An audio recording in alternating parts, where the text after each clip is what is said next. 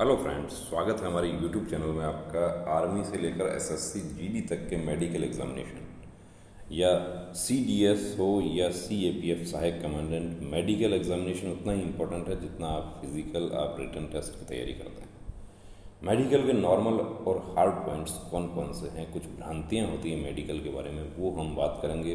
कुछ हमारे पॉइंट्स ऐसे हैं कि जिनमें फिट हो सकते हैं, लेकिन कैंडिडेट कैसे छोटी छोटी लापरवाही में फिट नहीं हो पाते हैं। तो अनफिट नहीं होना है, वर्दी पाना है तो मेडिकल भी आपको उतना ही तैयार रखना है जितना आप फ़िज़िकल और रिटर्न पार्ट के लिए आप फोकस करते हैं। ये हमारा नंबर दिया है, यदि कोई आपका मेडिकल पॉइंट होता है तो आप इस नंबर पर आप व्हाट्सएप मैसेज कर सकते हैं। और आपके जो डाउट्स हैं वो हम क्लियर करने की कोशिश करेंगे। ये देखिए, ये नॉर्मली क्या होता है? केलोइड बना है। कैसे बना? ये एक्चुअली जब टैटू रिमूव करवाया जाता है तो थोड़ी सी लापरवाही वहाँ पर हो जाती है और कैलोइट बन जाता है। ये कैलोइट एक बहुत बड़ा पॉइंट है ये, क्योंकि ये छोटे छोटे कैलोइड्स जो होते हैं, उसमें भी कैंडिडेट्स को हमने अनफिट होते हुए देखा है। सारा मेहनत खराब हो जाता है यहाँ पे। तो यदि टैटू है आपकी बॉडी पे उसको रिमूव करवाना है रिमूव करवाते हैं प्रॉपर उसको ट्रीटमेंट करवाना है सर्जन से या जो लेजर से टेक, लेजर टेक्निक से होता है ये इनका छोटा टैटू था तो इसमें इनका सर्जरी इन्होंने करवाया है लेकिन ये फूल गया है यहाँ से स्किन फूलने से ये अनफिटनेस का बड़ा कारण बन जाता है। ये देखिए, ये S S C G D के कैंडिडेट हैं जो अनफिट हो गए थे। मार्क्स बहुत अच्छा था फिट हो जाते ही लेकिन चार पॉइंट था तो जब जितने ज़्यादा पॉइंट मिलता है कैंडिडेट उतना ही डिमोरलाइज हो जाता है वहाँ पर।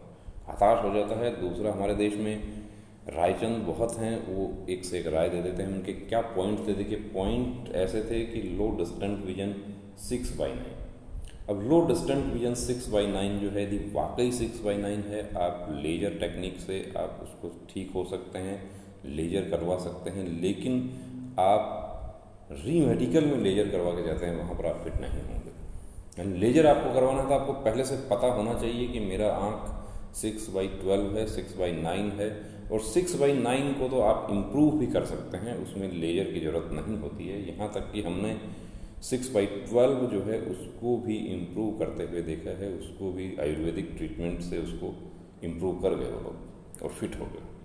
लेकिन ये सब आपको पहले से पता होना चाहिए। अब ये कैंडिडेट जो हैं, इनके जो पॉइंट मिले, ये पॉइंट ऐसे थे कि ये सिक्स बाई नाइन का ये पहले से इनको पता होता, ये लेजर करवा के फिट हो सकते थे। लेकिन डीएमई में एक बार पॉइंट मिल गया, उसके बाद री मेडिकल के लिए सर्जरी करवा के जाते हैं प्रॉब्लम हो जाएगी।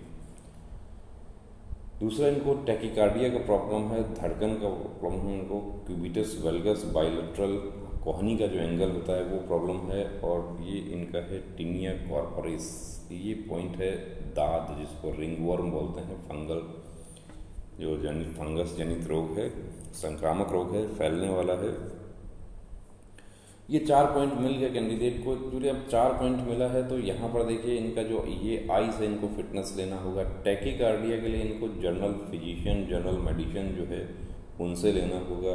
क्यूबिटस वल्गस ऑर्थो से लेना होगा, और ये स्किन स्पेशलिस्ट से लेना होगा। यानी पंद्रह दिन का टाइम होता है इस तरह के पॉइंट मिलने पर। कई बार तो ये भी होता है कि पंद्रह दिन में कैंडिडेट का फिटनेस भी नहीं हो पाता। क्योंकि सिविल डॉक्टर, सिविल हॉस्पिटल में, डिस्ट्रिक्ट हॉस्पिटल में या मेडिकल कॉलेज में इनको बहुत ही कम एंटरटेन करते हैं कैंडिडेट्स को और या समय जो नॉर्मल पेशेंट देख रहे होते हैं, उनके साथ में इनको एंटरटेन नहीं करते हैं। लेकिन फिर भी इन्होंने अपील किया था, अपील इनका एक्सेप्ट हो गया, उसके बाद में इनको दो पॉइंट जो थे उसमें ये फिट हो गए। No tinea corporis. देखिए, जो रिंग वर्म का जो पॉइंट था, वो इनका क्लियर हो गया। क्यूबिटस वेलगस जो था, वो भी नॉर्मल लिमिट्स में था, वो भी फिट हो गया। टैकिकार्डिया जैसा नॉर्मल पॉइंट था, उसमें ये आउट हो गए। और दूसरा, डिफेक्टिव डिस्टेंट विजन जो था, वो दोनों ही आँखों में सिक्स बाई नाइन था वाकई। सिक्स बाई नाइन की वजह से इनका वर्दी का सपना टूट गया, वरना अभी ये ट्रेनिंग सेंटर में हो ट्रेनिंग कर रहे होते। इससे कैसे बचा जा सकता था? देखिए, इससे बचने का एक तरीका था कि कम, इनका ये फ़र्स्ट मेडिकल था, इनको पहले से पता होता कि मुझे ये प्रॉब्लम होता, पहले से पता कैसे होगा। अभी तो इनको पता चल गया। अब ये प्रिकॉशन ले लेंगे। जो नेक्स्ट भर्ती आएगी, उसमें ना ये टैकिकार्डिया का पॉइंट बनने देंगे, ना ये डिस्टेंट विजन का बनने देंगे और हाथ इनका नॉर्मल है, उसमें फिट हो चुके हैं। और जो रिंग वर्म जो था, वो तो उसको कहते हैं कि क्रॉनिक नहीं था एक्यूट था तो वो ठीक हो गया। दवा ले लिया उसका। कंप्लीट मेडिकल चेकअप यदि इन्होंने करवा के देखा होता तो इनको ये कोई भी पॉइंट नहीं मिलता। देखिए, इसका ट्रीटमेंट हो जाता है इनका, इसका दवा ले लिया जाता है ये एक्सरसाइज से ठीक हो जाता है टैकिकार्डिया टैबलेट से फिट हो सकते हैं और ये लेजर से। लेकिन यहाँ आप देख रहे हैं, वर्दी का सपना टूट गया। वेट का एक नॉर्मल सा पॉइंट है ओवर वेट अंडर वेट अब ओवर वेट अंडर वेट यदि आपका वेट ज़्यादा है तो आप अनफिट हैं, आपका कम है तो भी आप अनफिट हैं। इसको वेट चार्ट ये मेडिकल गाइडलाइन का जो वेट चार्ट है, उसको हम देखते हैं। नॉर्मल हाइट 170 की यदि हम बात करें, अब एक कैंडिडेट 18 से 22 साल की उम्र में है तो उसका वेट बावन से यदि कम रह गया तो भी वो अनफिट है, और चौंसठ से ज़्यादा हो गया 64 से ऊपर हो गया तो भी अनफिट है। इस रेंज में होना चाहिए, ये रेंज है। अब कुछ कैंडिडेट्स पूछते हैं कि इसमें टेन परसेंट प्लस माइनस होता है क्या? Ten percent plus minus actually इसका जो एवरेज है, वहाँ पर होता है।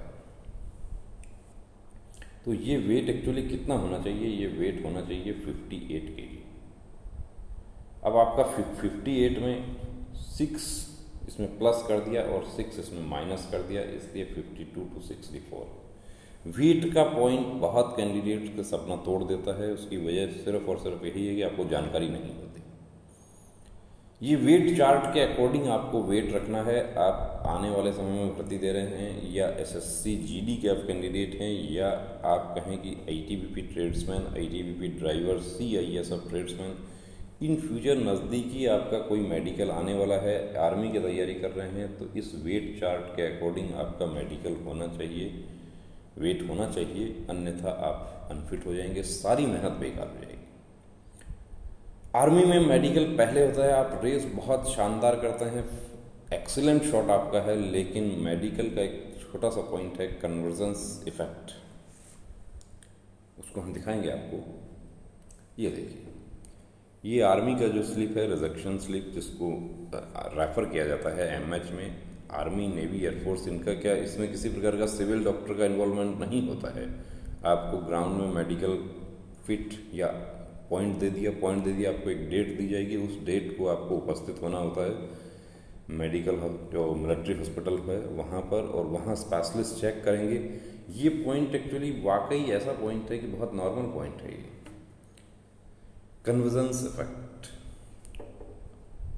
क्या है ये कि इसको आर्म साधारण बोलचाल में इसको बोला जाता है पेन घुमाने वाला पॉइंट सिंगल पॉइंट है, देखिए, इस पॉइंट से ये बच सकते थे यदि इनको ये वाकई पता होता कि मुझे एक चेक होगा तो कैसे? कई बार आप वहाँ पे गर्दन घुमा देते हैं, पेन आपके आगे किया जाता है, या टॉर्च से दिखाया जाता है, पेन जैसे ही आपके आगे किया जाता है, उसको लेफ़्ट राइट मेडिकल अफसर वहाँ पर चलाते हैं, आप गर्दन घुमा देते हैं, आपको पॉइंट बन प्रैक्टिस से बहुत नॉर्मल सा प्रैक्टिस है, इसका वो प्रैक्टिस करके ठीक हो जाता है। लेकिन ये आपको पहले से पता हो कि ये प्रॉब्लम है मुझे।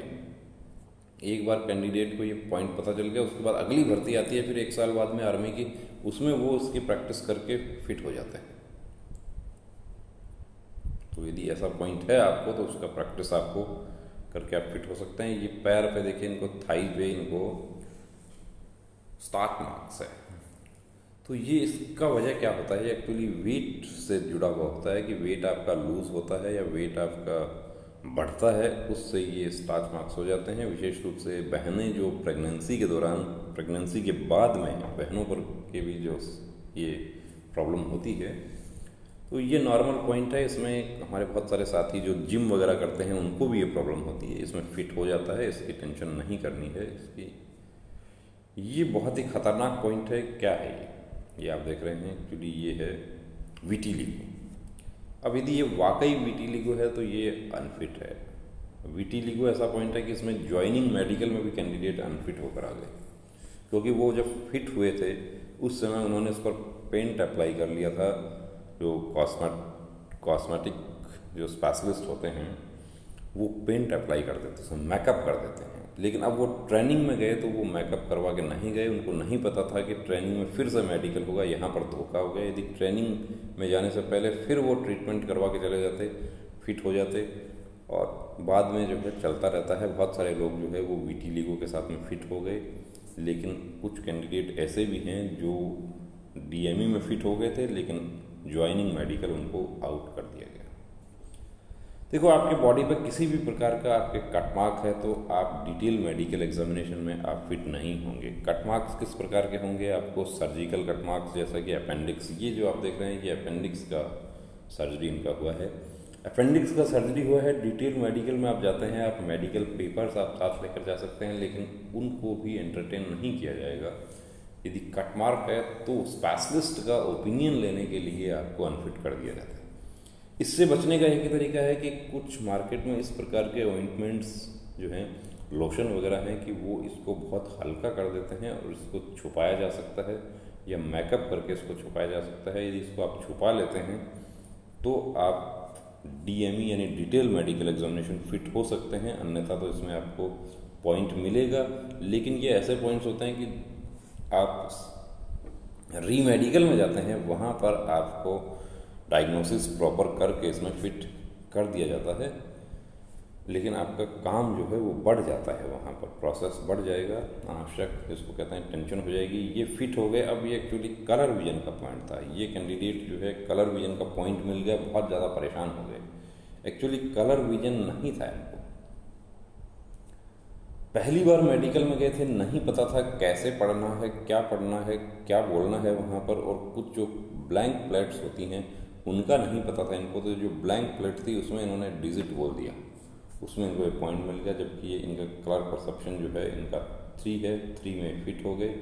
दूसरा, इनका हाइपर टेंशन का पॉइंट था। हाइपर टेंशन में भी ईसीजी e इनका हुआ विद इन नॉर्मल लिमिट्स आ गया। हाइपर टेंशन में भी फिट हो गए, पूरा फिट हो गए वर्दी पा गए।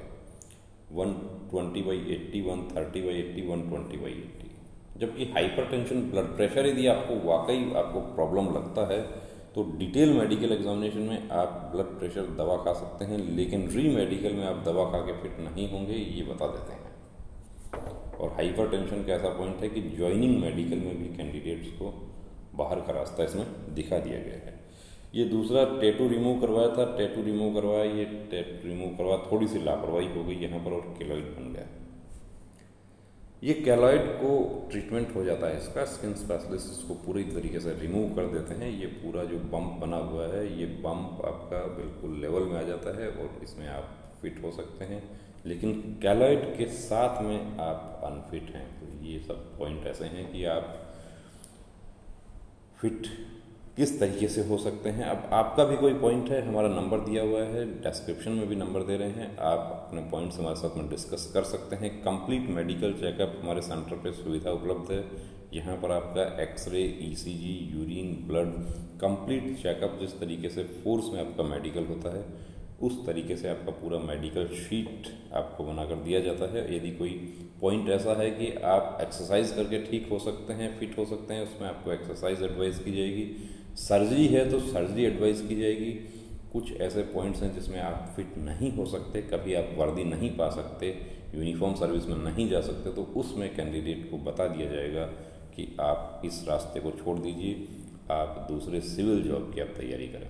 क्योंकि साढ़े सत्रह की उम्र से कैंडिडेट दौड़ शुरू करता है और साढ़े पच्चीस की उम्र में उसको पता चलता है कि मुझे तो ये ऐसा पॉइंट है कि मुझे कभी इस रास्ते पर नहीं आना चाहिए था तो उस समय बहुत डिसअपॉइंटमेंट होता है, बड़ी तकलीफ़ होती है और खुद को ही नहीं, पूरी फैमिली को तकलीफ़ होती है।